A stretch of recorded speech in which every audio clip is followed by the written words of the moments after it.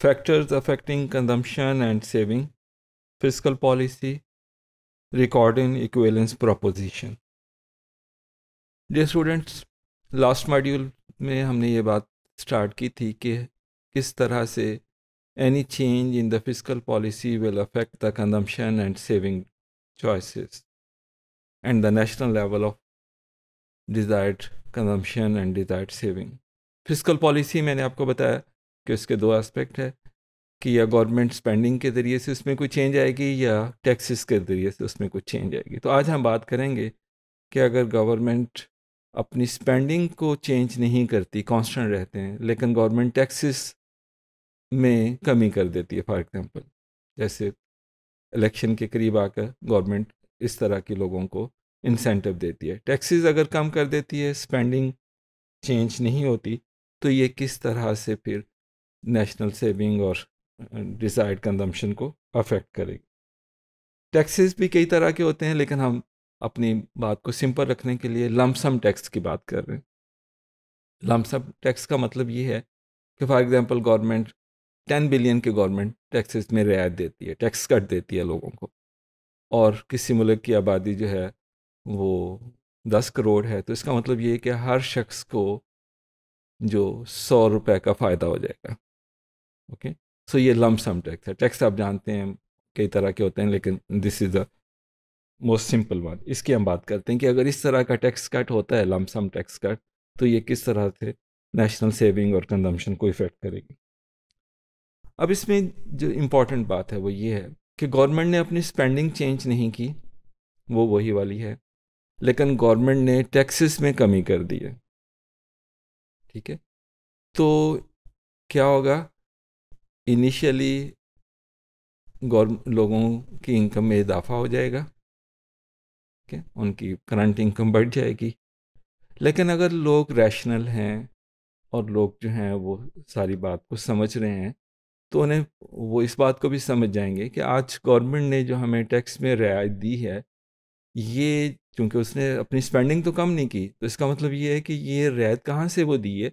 वो अपनी स्पेंडिंग को बारो करके उसको फाइनेंस करेगी, ठीक है? और आने वाले दिनों में फिर गवर्नमेंट हम पर टैक्स बढ़ा देगी, जिसमें ये जो आज की टैक्स कट है, ये भी शामिल होगा और उसके ऊपर इंटरेस्ट भी शामिल होगा। तो लोग अगर रैशनल हैं और वेल इन्फॉर्म्ड हैं तो वो इस बात को फोर्सी कर लेंगे। तो फिर उस सूरत में क्या होगा? वो समझेंगे कि अगरचे उनकी करंट कंजम्पशन में करंट इनकम में इजाफा हो गया टैक्स कट की वजह से, लेकिन वो एक्सपेक्ट करेंगे कि ये जो इजाफा है, ये फ्यूचर इनकम में कमी आ जाएगी और ये उससे ऑफसेट हो जाएगा। तो इसके नतीजे में अब क्या हुआ कि गवर्नमेंट ने टैक्स कट दिया है, लेकिन अपनी स्पेंडिंग को नहीं चेंज किया। उसके नतीजे में कंज्यूमर्स की करंट इनकम में इजाफा हो गया है, लेकिन वो एक्सपेक्ट कर रहे हैं कि उनकी फ्यूचर इनकम कम हो जाएगी। तो ये गेन करंट इनकम में और फ्यूचर इनकम का लॉस जो है, इसका कंजम्पशन पर और सेविंग पर इम्पेक्ट क्या हो सकता है, इसकी हम डिफरेंट सिनेरियो डिस्कस करेंगे। तो उससे डिज़ायर्ड कंजम्पशन जो है, ये हम देखेंगे कि ये राइज भी कर सकती है या फॉल भी कर सकती है, या एक ये भी हो सकता है कि उसमें कुछ भी तब्दीली ना आए।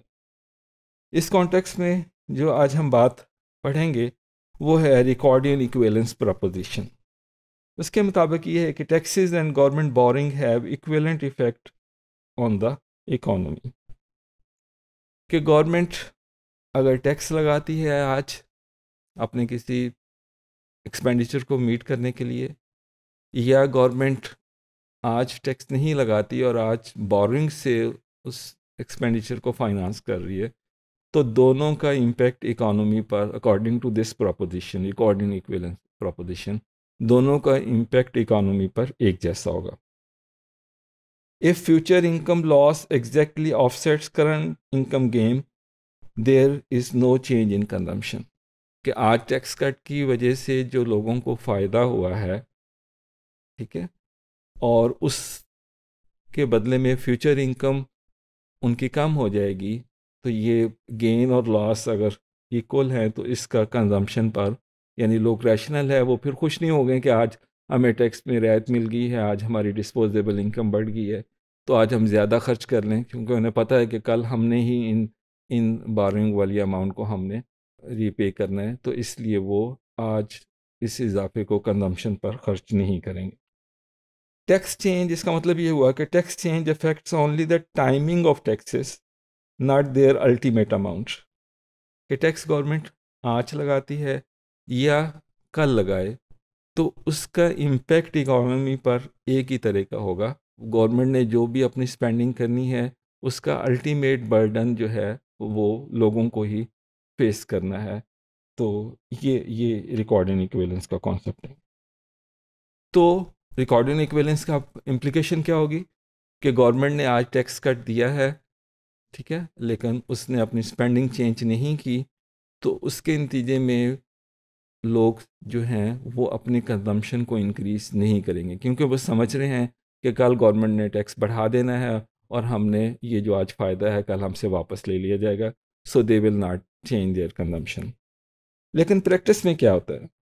रियल लाइफ में people may not see that future taxes will rise if taxes are cut today कि तमाम लोग उस तरह से ना रैशनल होते हैं, ना वो वेल इन्फॉर्म्ड होते हैं कि वो सारी बात को पूरी तरह और अच्छी तरह समझ जाएँ कि आज जो टैक्स में फ़ायदा हुआ है, कल ये वापस ले लिया जाएगा।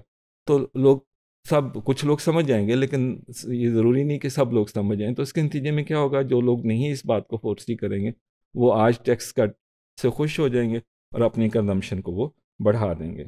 तो उसके नतीजे में कंजम्पशन बढ़ सकती है और कंजम्पशन बढ़ेगी तो इसका मतलब ये कि डिज़ायर्ड नेशनल सेविंग जो है ये कम हो जाएगी। सो so, ये कब होगा? यानी अगर रिकॉर्डिंग इक्विलेंस प्रपोजिशन होल्ड करती है फिर तो टैक्स कट का कंजम्पशन और सेविंग पर कुछ इम्पेक्ट नहीं होगा। लेकिन अगर वो होल्ड नहीं करती तो फिर कंजम्पशन बढ़ जाएगी और सेविंग कम हो जाएगी। तो ये कब होगा कि वो रिकॉर्डिंग इक्विलेंस होल्ड नहीं करेगी? तो पीपल अगर they are relatively short sighted ठीक है? वो पूरी तरह फ्यूचर को फोर्सी नहीं कर रहे शॉर्ट साइटेड है तो उसके नतीजे में वो अपने करंट कंजम्पशन को बढ़ा देंगे। और एक और इंपॉर्टेंट पॉइंट है कि समटाइम्स लोगों के लिए बोरिंग कंस्टेंट्स होती है कि एक शख्स, हम अज्यूम करते हैं कि जी, आप आज कमाएँ या कल कमाएँ तो आप, उसका कुछ फ़र्क नहीं पड़ेगा। आज अगर आप अपनी आमदनी से ज़्यादा खर्च करना चाहते हैं तो आप बारो कर सकते हैं। और अगर कम खर्च करेंगे तो आप लैंड कर सकते लेकिन ऐसा होता नहीं है। समटाइम्स एक शख्स अपनी करंट इनकम से ज़्यादा खर्च करना चाहता है, उसे बोरिंग की ज़रूरत है, लेकिन समटाइम्स उसको वो बोरिंग की फैसिलिटी अवेलेबल नहीं होती। तो इसे हम कहते हैं कि बोरिंग कंस्टेंट है एक शख्स पर। वो बाइंडिंग है, ठीक है? कि वो बोरो नहीं कर सकता। अगर ऐसी सूरत है, एक शख्स अपनी आमदनी से ज़्यादा खर्च करना चाहता था उसके लिए, लेकिन वो बारो नहीं कर सकता था। अब अगर गवर्नमेंट ने टैक्स कट दे दिया तो फिर ज़ाहिर है वो तो फिर, वो तो यानी बारो करके खर्च करना चाहता था। जब उसको खुद एक इनकम में, उसके अपनी इनकम में इजाफा हो रहा तो वो तो फिर ज़्यादा खर्च करेगा। तो उसके नतीजे में जो हम कह रहे हैं कि रिकॉर्डिंग इक्विलेंस की सूरत में कंजम्पशन अफेक्ट नहीं होगी तो बारिंग कंस्टेंट की सूरत में फिर कंजम्पशन बढ़ जाएगी। अगर लोग शॉर्ट साइटेड होंगे तो कंजम्पशन बढ़ जाएगी।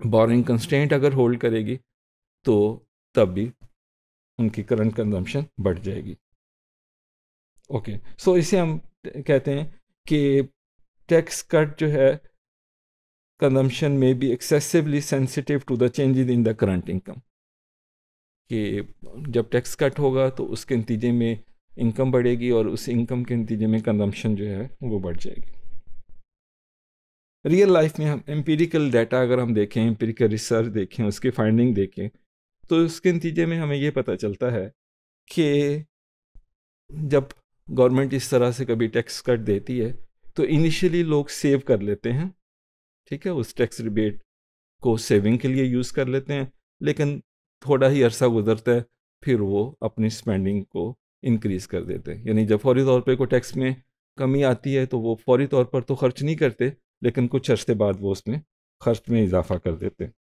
सो so, एक और स्टडी की गई कि क्रेडिट कार्ड्स के हवाले से लोगों का बिहेवियर नोट किया गया। तो देखा गया कि जब भी इस तरह की कोई टैक्स रिबेट मिलती है तो इनिशियली तो लोग अपने जो उनका क्रेडिट कार्ड का बैलेंस होता है उसको वो कम करने के लिए जो डेट ड्यू होता है वो अपने उस रिबेट को उस मकसद के लिए यूज़ करते हैं। लेकिन कुछ ही अर्सा गुजरते हैं कि वो फिर उसके आदि हो जाते हैं और फिर दोबारा से नया कर्ज लेना शुरू कर देते हैं और क्रेडिट कार्ड डेट उनका दोबारा इंक्रीज करना शुरू कर जाता है। और ख़ास तौर पर जो यंग लोग होते हैं, वो बारिंग कंसनेट को फेस कर रहे होते हैं। यानी वो यंग लोग जो होते हैं, वो अपनी इनकम से ज़्यादा खर्च करना चाह रहे होते हैं। और लेकिन उन्हें बारिंग की फैसिलिटी उस तरह से अवेलेबल नहीं होती। तो जब ऐसे लोगों को ये टैक्स कट अवेलेबल होता है तो फिर वो अपने कंजम्पशन में इजाफा कर देते हैं। और people with high credit limits also tended to pay off more of their balances and spend less ठीक है? जो ऐसे लोग, अमीर लोग हैं, जिनकी हाई क्रेडिट लिमिट है तो उनका बिहेवियर यही होगा कि वक्ती तौर पर वो अपनी जो टैक्स कट की जो फैसिलिटी है, उसको वो अवेल करेंगे और अपनी बैलेंसेस को सेटल करने के लिए। लेकिन कुछ ही अर्सा गुजरता है कि वो भी फिर अपने अखराज में इजाफा कर देते हैं। लेकिन उनका बिहेवियर रिकॉर्डिंग इक्विलेंस के साथ ज़्यादा कंसिस्टेंट होता है as compare to the younger people. So, overall जो एविडेंस हमारे सामने आई है कि कंज्यूमर जो है वो usually 50 to 90 percent tax rebate का खर्च करना शुरू कर देते हैं, ठीक है? और ये ये जो फाइंडिंग है obviously this is not consistent with the recording equivalence. Thank you.